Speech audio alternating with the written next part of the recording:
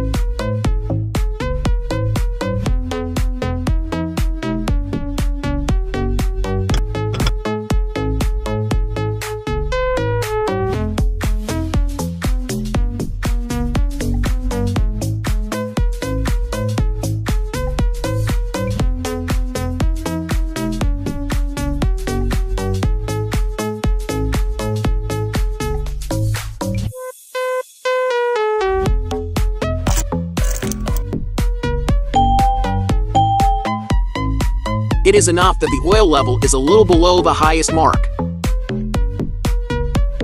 Changing engine oil is so simple. Have you learned it? Follow me and learn some car knowledge every day.